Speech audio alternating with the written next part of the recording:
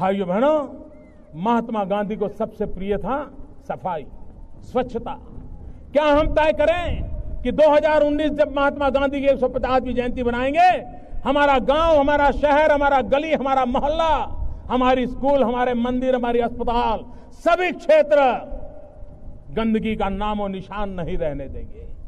ये सरकार से होता नहीं है जन भागीदारी से होता है।